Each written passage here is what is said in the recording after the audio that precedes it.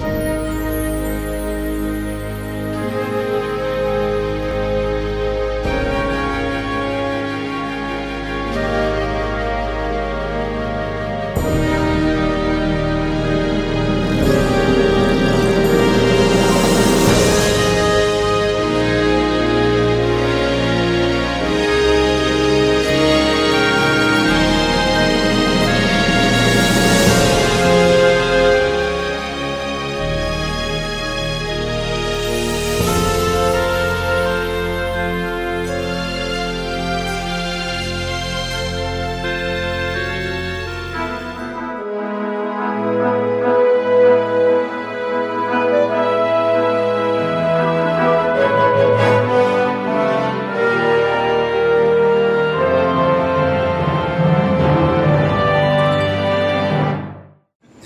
bendiga. ¿Cómo se encuentra? Bien. Bien. Gloria. Bien. Gloria. Y esta, esta noche mejor todavía. Mejor que ayer. Y mañana vamos a estar mejor que hoy. Y el domingo mejor que ayer. Y el sábado, ¿verdad que sí? Dios es bueno. Eh, le damos un saludo primero que nada nuevamente a, a toda esta comunidad, vecinos que nos escuchan, no- nos excusan, eh, porque a la verdad estamos alabando a un Dios todopoderoso. Si te interrumpimos, como dijo nuestro pastor ahorita, excúsanos, perdónanos. Pero aquí estamos, no vamos a estar largo tiempo, unos 25 minutos, unos 25 a 30 minutos. Y te pedimos que si puedes dedicarnos en tiempo esos 20 o 25 minutos, te lo vamos a agradecer porque vas a recibir palabra de Dios. Hay palabra de Dios para ti, vecino, en esta noche. Hay palabra de Dios para ti, vecino, en esta noche. Y hay palabra de Dios para ti, iglesia, en esta noche. Hay palabra de Dios para ti, iglesia, en esta noche. Vamos a ver un Cristo manifestado. Vamos a ver un Espíritu Santo haciendo milagros. Porque donde hay poder, ahí está el Espíritu Santo. Oh, ¿cuántos dicen amén? Dios se goza haciendo milagros. A Dios no le gusta verte enfermo. A Dios no le gusta verte enferma. A Dios le gusta verte contenta, contento,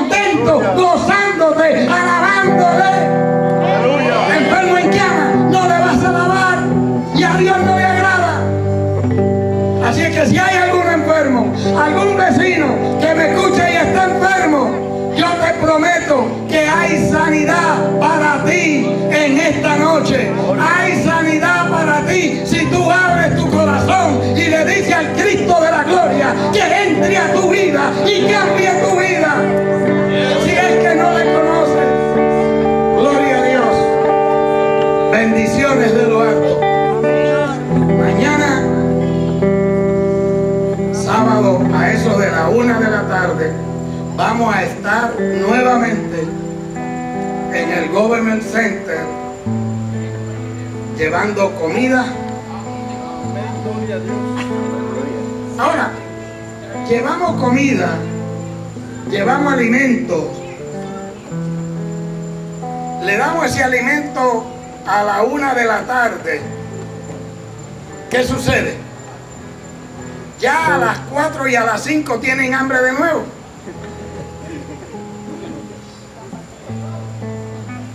Yo no me puedo quedar allí dándole comida mañana, mediodía y tarde para saciarle el hambre, ¿verdad?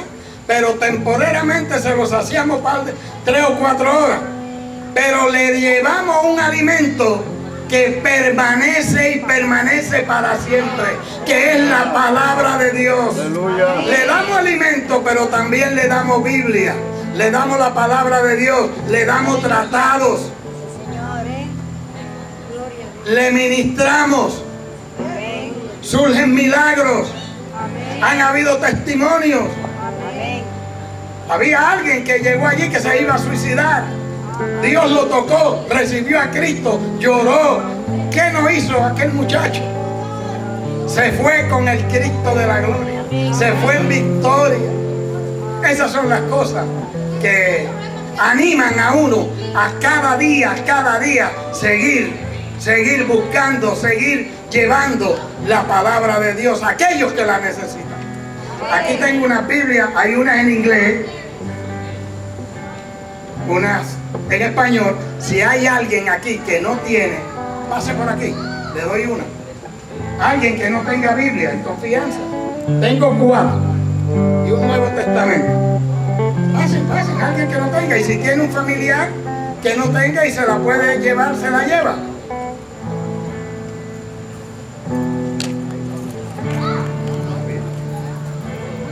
Español. Aquí tengo más. ¿Alguien más? Hay un Nuevo Testamento que pueda llevarle a alguien en inglés. En inglés. ¿Alguien más en español? Tengo un Nuevo Testamento. ¿Alguien más? ¿Lo puede regalar? Amén. Amén. Hay uno, una Biblia, ah, esto es una miniatura de Biblia pequeña. ¿Alguien? ¿Cabe en el bolsillo? Qué fácil. Adelante. Ah, se le adelantaron. Oh, gloria a Dios. Vamos a alabar al Señor. Amén. Gloria. Aleluya. Dios es bueno. Dios es bueno. Vamos a alabar al Espíritu Santo. Vamos a darle oportunidad a ese Santo Espíritu. Oh, gloria, gloria. Que se manifieste en esta noche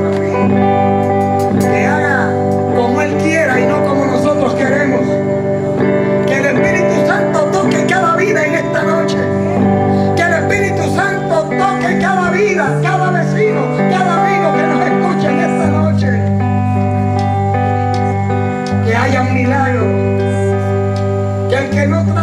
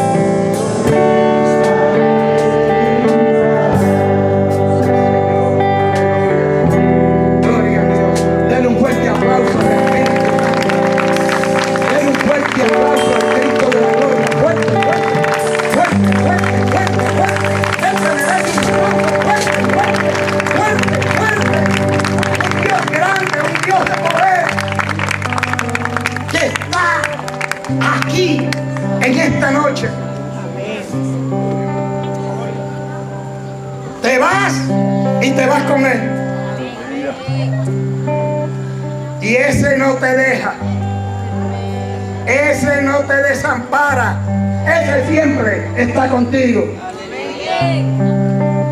Ese siempre está con nosotros. Es bueno, ¿verdad? Es bueno. Pueden sentarse. Dios les bendiga mucho. Gracias, Alex.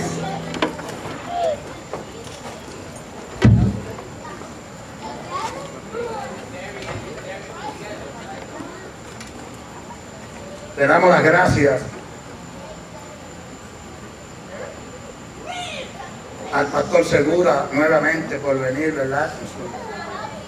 Su, su esposa y, y algunos hermanos de la iglesia que apreciamos mucho.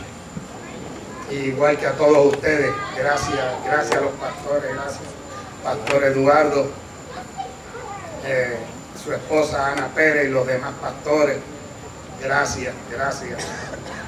Eh, el, eh, el ministerio que Dios ha puesto en, mi, en mis manos está bajo la cobertura de este ministerio, del pastor Eduardo.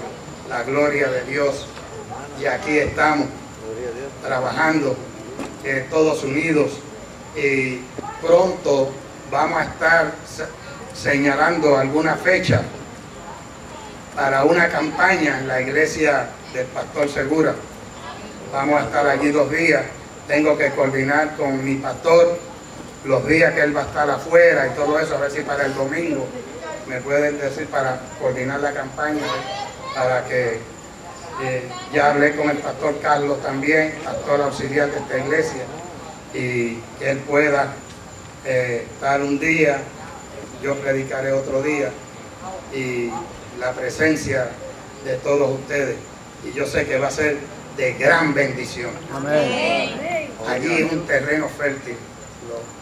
La 27 Avenida y la 75 y 79. Eh, allí hay mucho terreno para caminar. Allí hay almas que salvar. Allí hay almas que salvar. Hay que llevar el Evangelio donde, donde Dios nos mande. Eh, llegué a esa iglesia y, y he estado visitándolos y le he consultado a mi pastor, el pastor Eduardo, y sí, y me ha dado el visto bueno y también me ha, me ha- o sea, se han comprometido con nosotros ayudarnos para seguir llevando la palabra. Y, donde, y no solamente en la iglesia del Pastor Segura, donde quiera que vayamos. Gloria a Dios. Eh, eh, acuérdese mañana, si hay, alguien quiere ir al Government Center a llevar a repartir, vamos a estar llevando comida bastante para repartir allí, como dije ahorita, Biblia y todo eso, eh, que va a ser de gran bendición. Vamos a la santa y bendita palabra del Señor. Amén. ¿Cuántos trajeron Biblia? Todos tienen Biblia. Porque a la casa de Dios sin Biblia no se puede ir. Y además ofrecí por ahí Biblia y, y- como que yo tengo, yo tengo, así que todo bien. Nadie, casi nadie está sobre, ah, yo, deme una, yo". Eh, vamos al libro de Hebreo. Esto es Hebreo 11.1. Oiga, ¿quién no se lo conoce? ¿Quién no se lo conoce? Amén. ¿Verdad que sí? Lo sabemos todos de memoria, ¿verdad que sí que lo sabemos de memoria? Amén. Le damos lectura a la santa y bendita palabra del Señor. Es pues la fe, la certeza de lo que se espera, la convicción de lo que no se ve. Es pues la fe, la certeza de lo que se espera, la convicción de lo que no se ve. Padre, cierren sus ojitos, levanten sus manos, pongan sus Biblias sobre sus asientos. Y vamos a darle gracias a Dios por esta palabra que Él trae. Señor, te damos gracias, Padre Santo, Padre amado. Es un privilegio predicar tu palabra.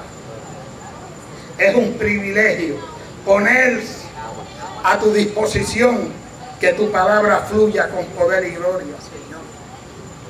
Señor, te pido, Dios, en el precioso nombre de Jesús, que esa palabra llegue a lo más profundo de nuestros corazones, Dios. Señor, a través de esta palabra en esta noche tú vas a hacer milagros. Va a haber salvación. Que es el, el milagro más grande que pueda existir la salvación de un alma.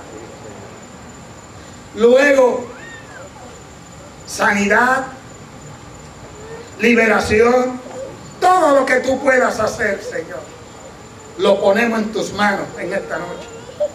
Me pongo en tus manos, Señor, que seas tú, que me uses, que me uses, Señor. Y habla, háblanos, ministranos a través de tu linda y preciosa y sagrada palabra. Gracias, Señor, en el precioso nombre de tu Hijo, amado Jesús. Denle un aplauso al Señor. Fuerte, fuerte, fuerte.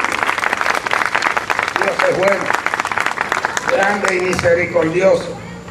Dice, es pues la fe, la certeza de lo que se espera. Cuando la palabra de Dios nos habla de certeza, ¿de qué nos está hablando? La certeza de lo que se espera.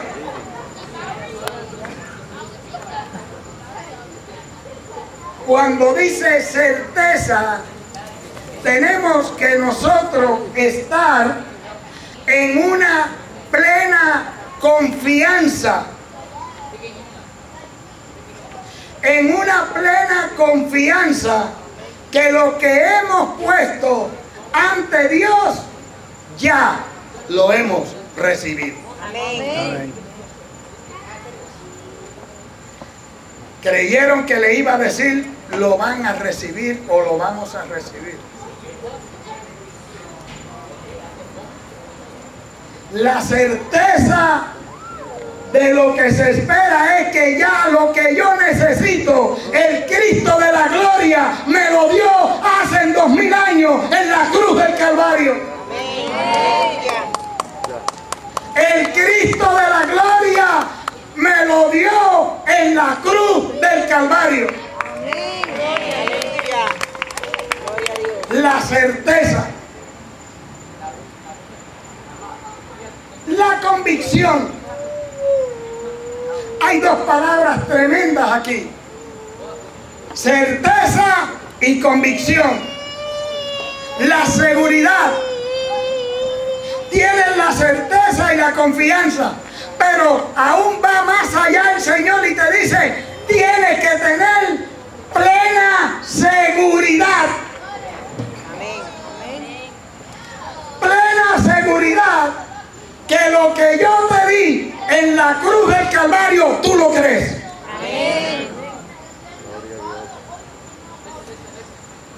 Si el doctor me dice a mí, Señor Cruz, usted tiene una enfermedad que lamentablemente es muy peligrosa. Vamos a darle un tratamiento, pero dudamos solamente que viva, solamente le podemos alargar la vida, quizás.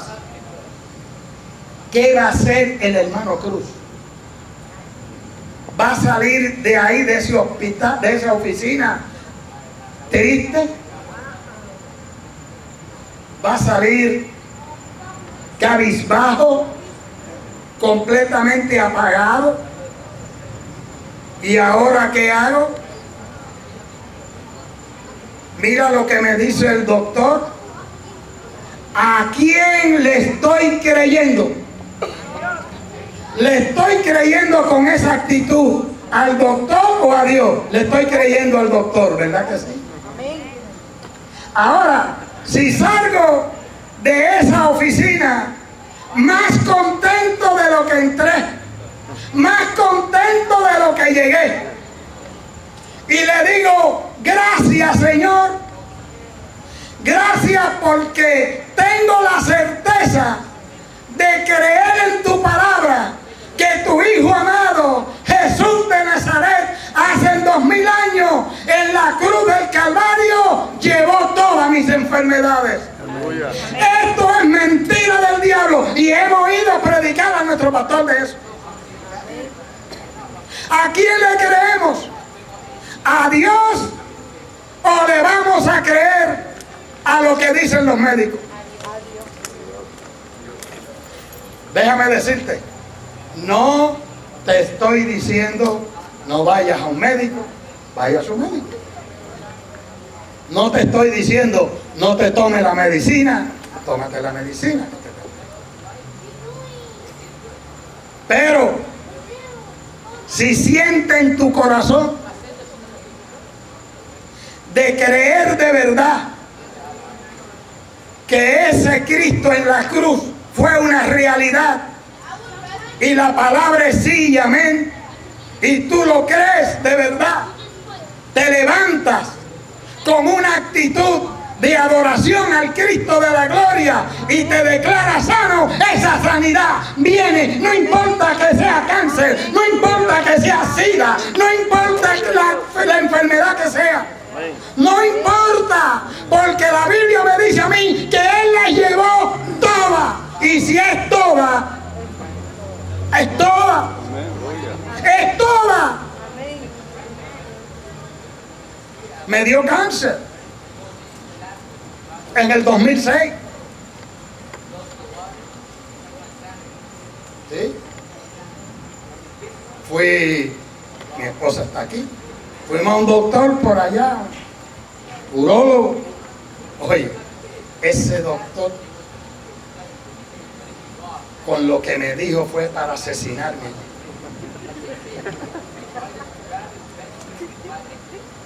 Me dijo así a boquejarlo, como decimos en Puerto Rico. Tienes cáncer. Y bien avanzado que está eso. Y sí, mire, me le eché a reír y le estuvo mal.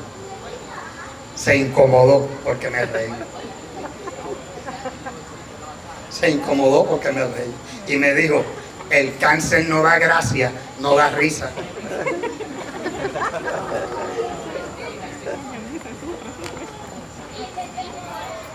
Déjenme decirle la verdad. No, eso fue en el 2006 no pude mantenerme. Estoy hablando la palabra de Dios. Y sé que estoy siendo usado por Dios. Amén. No soy de los que doy testimonio de que me metieron a un quirófano, me rajaron la barriga me hicieron esto. Y a los cuatro o al mes ya me dieron de alta, estaba en casa. Gracias Señor por No doy ese tema. No pude mantener la fe. Vino alguien, un evangelista, y me, sinceramente, lo oí en televisión y hizo así. Señaló tú que estás enfermo y dice que no vas al médico. Eso no, yo, yo arranqué para el médico, fui al médico y me sometí a una operación.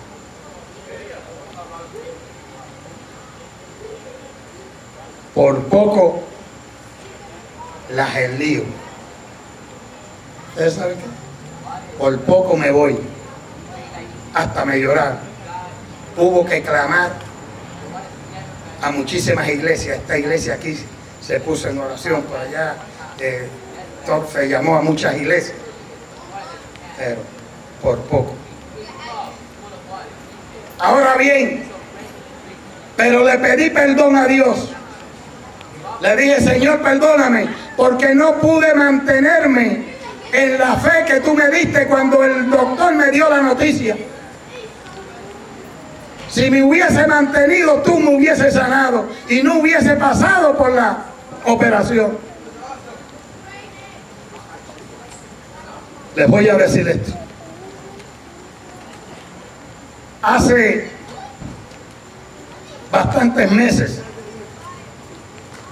me dijeron que el cáncer volvió. Diablo mentiroso. Que volvió.